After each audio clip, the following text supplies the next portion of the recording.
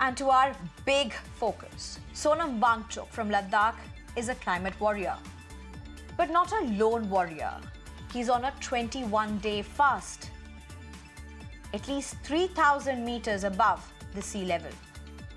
Amid what emerges as a massive outpouring of support from locals. His fast, he claims, is for a promise that BJP has failed to fulfill. A promise that BJP made twice since 2019. A promise he claims gave BJP a landslide in 2019 in Ladakh as well. A promise that he believes still could be fulfilled by them.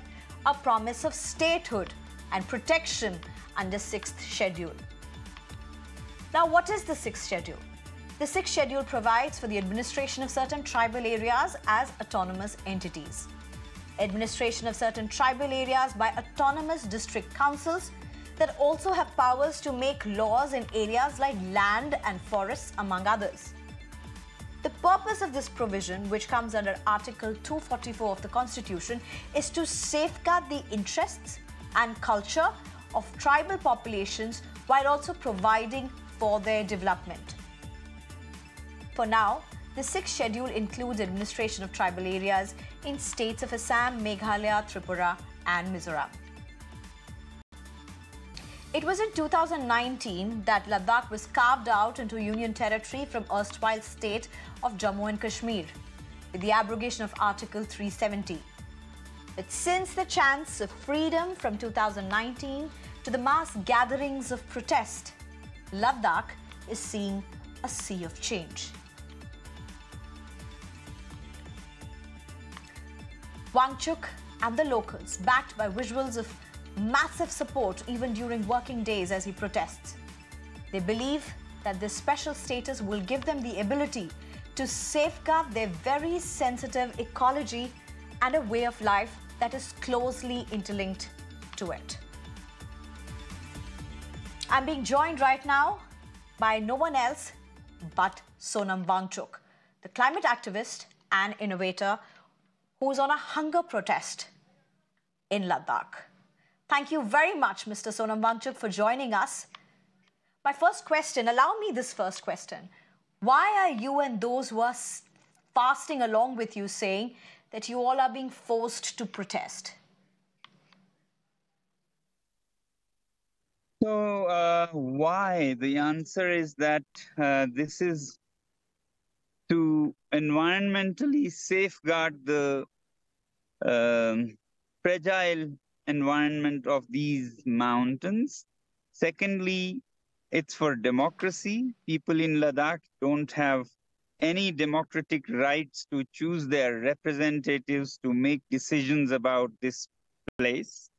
And thirdly, it has now become a struggle for truth because uh, four years ago we were promised by the current government and the ruling party that Ladakh will be safeguarded under the sixth schedule of the Indian constitution, which is our main demand. And it was more than us, it was them who assured us. In fact, it was twice in the manifesto of the ruling party, and they won heavily, and people voted mainly for this. You can see by my site their uh, publicity at that time, promising that Ladakh would be safeguarded under the sixth schedule. Uh, after that, they backtracked and yeah, dilly dallied, and finally it came to the end of the tenure, and March 4th, they told us, told our leaders that these cannot be done. So democracy through statehood was the demand, making Ladakh a full-fledged state, or now we say UT with legislature and safeguarding through sixth schedule. Neither could be done is what our leaders were told after like umpteen meetings which resulted in nothing. Sonam Wangchuk, do you see your fast and those who are fasting along with you as a political fast? Not really. It's more environmental and truth and justice. Political, because we are asking from a political system to keep their promises. Um, near the elections, why we are doing exactly because elections are coming again. We were promised in the previous elections, and their term is ending. So when do we demand uh, finally that they must keep their promise. So that's why we are doing. It's more than the coming election. It's a remnant of the last election. And this is the only time we can. Very soon we'll have no standing to demand. And next, we don't know what government will be. And they may not take responsibility for the previous government. So that's why. Mr. Sonam Wangchuk, how important is this demand for statehood in Schedule 6 for the people of Ladakh?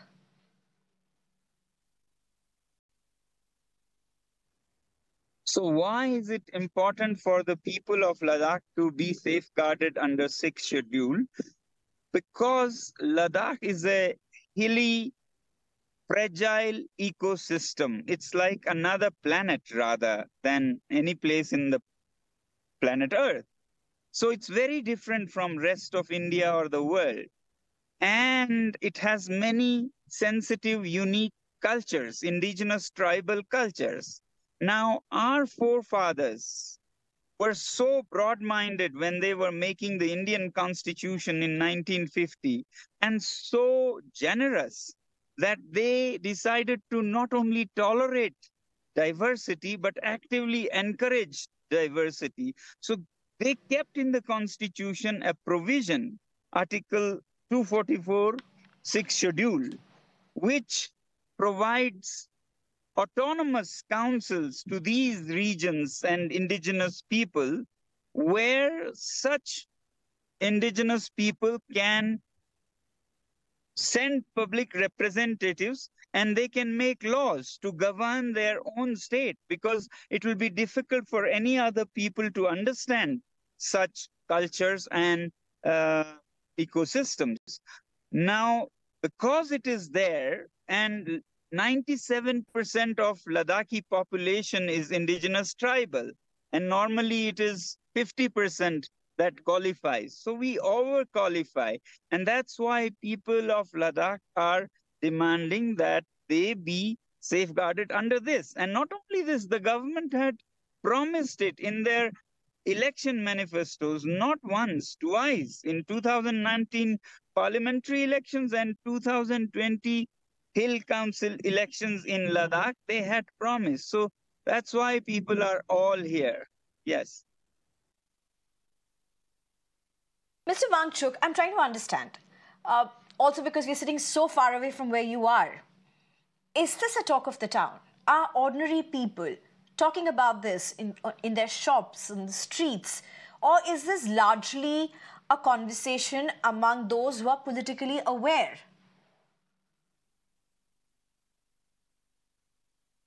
Okay, let me tell you that this is the only talk of the time. If you remember on 3rd February, to support this demand and democracy, people from all over Ladakh gathered in Leh, 30,000 of them. You must have seen it. 30,000 of them, which is like one third of the population of Leh district, you know, walked to one place to vote with their feet. And even today, this is a weekday. Normally, people gather at uh, the place where I'm doing this fast, but this in large numbers on Sundays. But today it's a weekday, and I'll show you what kind of gathering it has become. Yeah, behind me, if you see the lady with the red red cap, is 87 years old, and there are many in their 90s. And let me try to show you with my camera flipped uh, the other people here. Okay, so these are the people who have gathered just to join in this fast. Some are on one day fast, some are on three days, four days. Uh, roughly 2,000 people are here gathered on a weekday. I don't know how many will gather on the Sunday. This place may not be able to contain them. So this is how much close to people's hearts in Ladakh this issue is become. Thank you so much, uh, Mr. Wangchuk, for giving us that glimpse. It was so important to understand the kind of context of what you're seeing around, what's happening around you. Just one more thing. Priyanka Gandhi Vadra recently tweeted in your favor, in the favor of Ladakh, the demand for statehood and the sixth schedule. Are you getting the kind of political support that you would have wanted across party lines?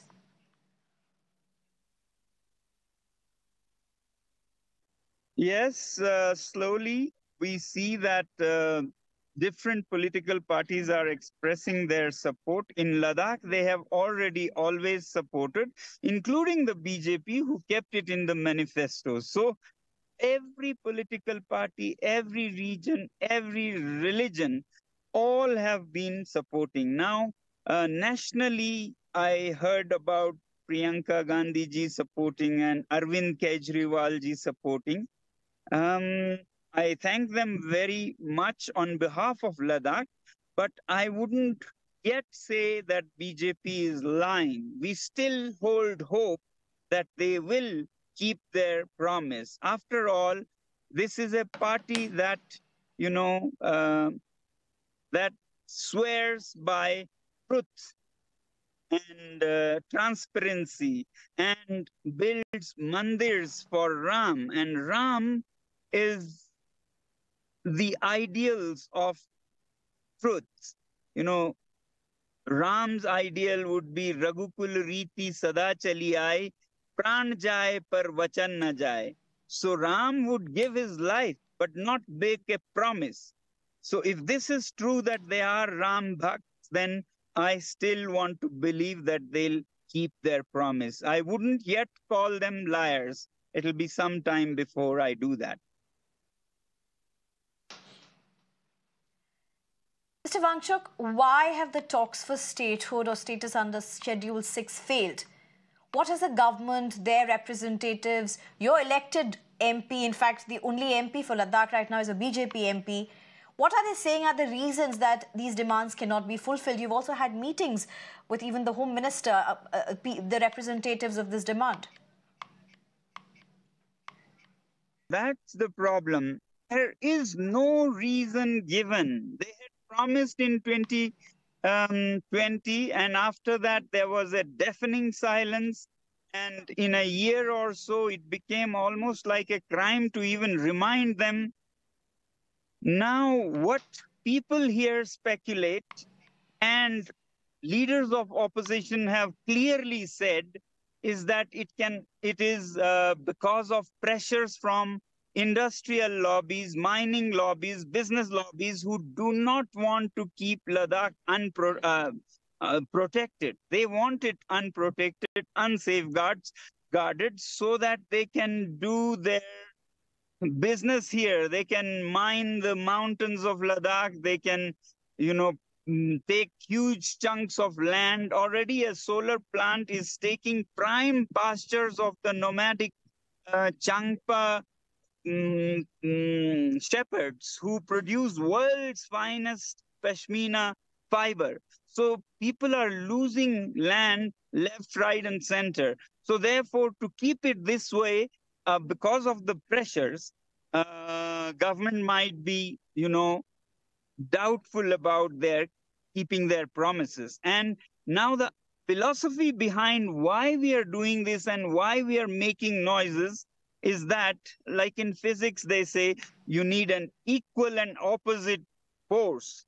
So to equal and neutralize this pressure from the industrial lobbies, we have to make at least an equal and opposite noise. Otherwise, they'll buckle under these pressures.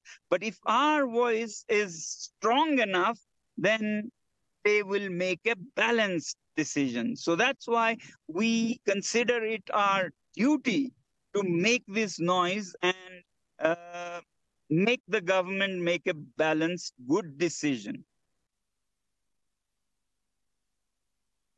Mr. Sonam Wangchuk, thank you so much for joining us, for bringing us this very, very important perspective, for being a very important voice from Ladakh. We wish you and everyone in Ladakh the very best. I, through your media channel, uh, want to appeal to the whole nation to support Ladakh because it's not just about Ladakh. It's about the nation. Even the glaciers here are supporting whole of North India. One billion people depend on the glaciers of the Himalayas. Secondly, it's about truth and it's about a sensitive, you know, strategic area like Ladakh. If people of Ladakh are alienated this way, it will directly affect the security of the nation. So you are as much a part of it as we in Ladakh are. Thank you very much. Jai Hind. Jai Hind, thank you very much, Mr. Wangchuk.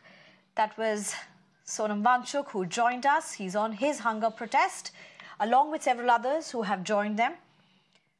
We're trying to understand what is the context around what's happening in Ladakh, a very strategic part of India, a very sensitive, eco ecologically sensitive area. I'm being joined by R.S. Pathania, who's a spokesperson for BJP, Kamruzman Chaudhary, who's a political analyst, as well as Virag Gupta, who's a constitutional expert. Thank you, all three of you, for joining us.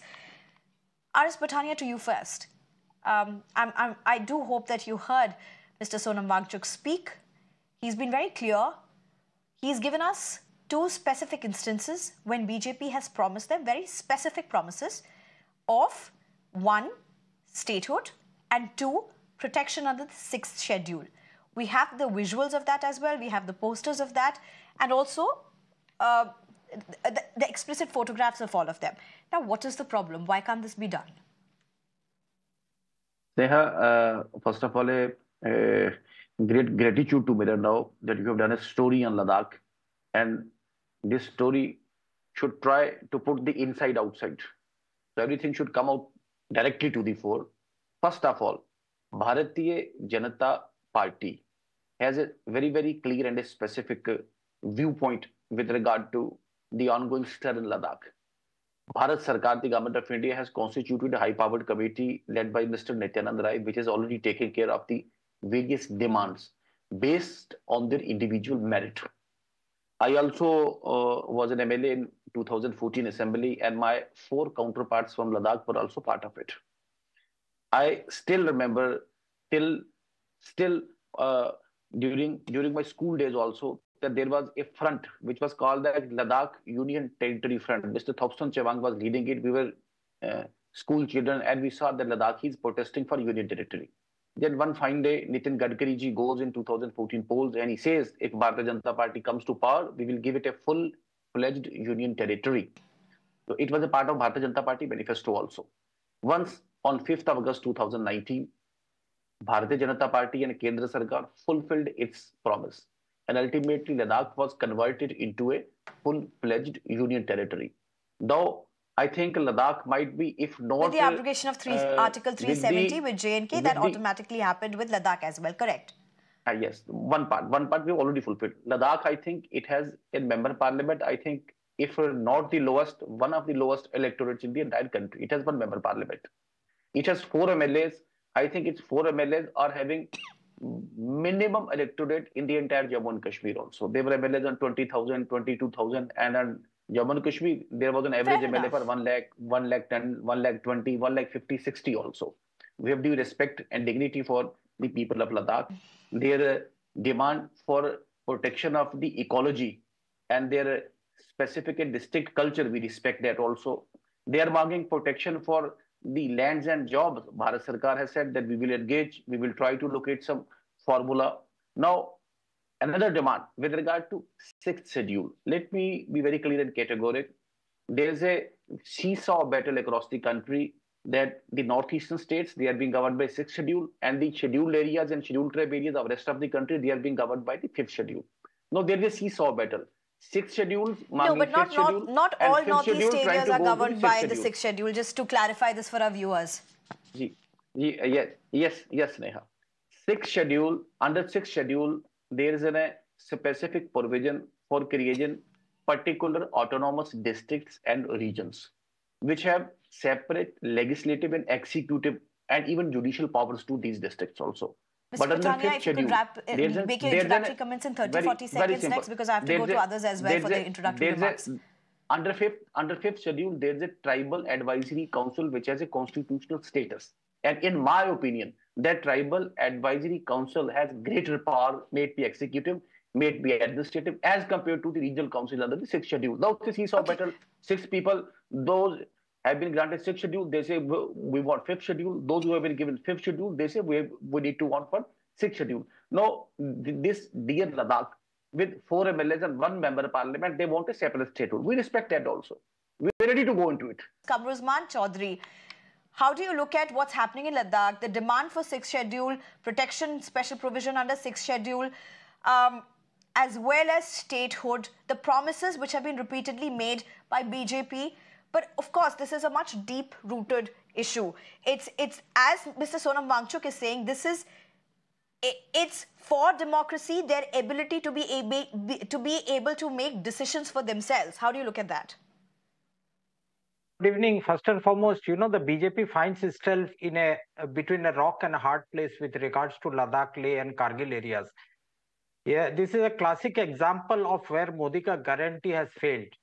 Uh, basically you you promise the world to them where you are not able to deliver and ladakh is one such example their simple demand we can sum up from mr wangchuk interview was we need the six schedule protection and we need a uh, legislature for our people to to legislate our our rules regulations and protect the environment of our uh, of our region that is the only demand that these people are having if you can't promise them a state give them a union territory with a legislature. You, why are you dilly on that? I can't understand. You are, they are demanding a six schedule protection uh, for Ladakh. You can't.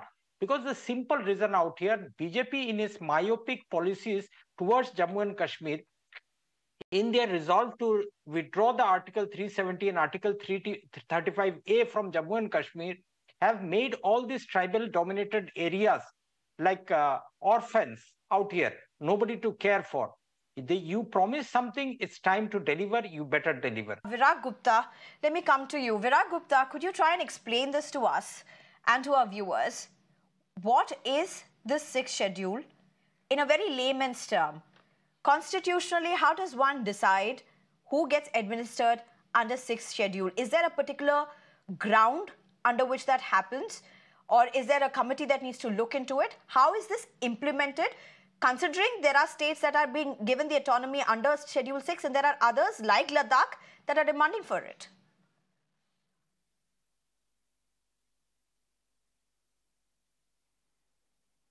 Sneha, there are three types of demand and accordingly we can consider the aspect of sixth schedule.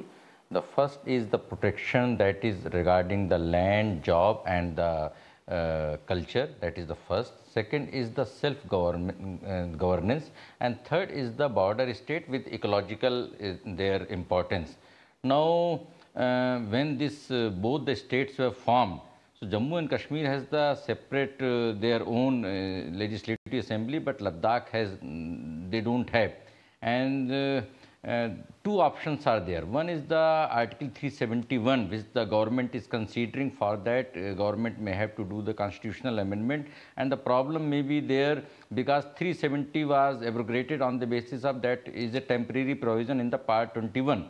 And in the same manner, 371 provisions are the temporary, but it's difficult to implement because for that purpose, government may have to the constitutional amendment, and those provisions may not fulfill the aspirations of the Ladakhi people. Now coming to the sixth schedule, for the sixth schedule, mm. no constitutional amendment may be required. And for that purpose, in the act which was passed in the 2019, in that act itself, provisions may be made for the sixth schedule.